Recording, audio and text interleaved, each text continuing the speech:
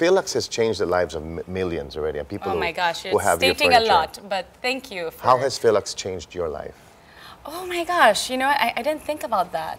um, it has made me mature. It has made me gain perspective Mm-hmm. a lot of the times because, you know, you do, you know, as a working mom, you have daily stresses and then you get ticked off by the smallest thing. But then I feel like when I think about the company and all the people involved, I like taking a step back Sure. and taking that perspective and then you see things a bit more clearly Mm-hmm. you are more grateful and you're filled with purpose again That's right. So- and the best thing about it is you're really showing off the Filipino talent.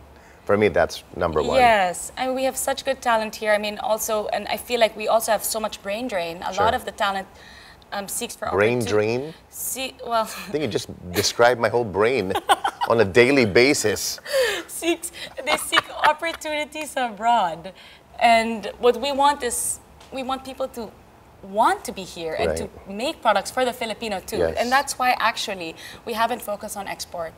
What we're proud of is that we're making Filipino furniture for the Filipino. That's, so it's made by a Filipino for the Filipino. So our our plans would probably be expanding within not just within the metro, but you know within nationwide. I would say Mm-hmm. nationwide first, and then only after that would we look Think at about it?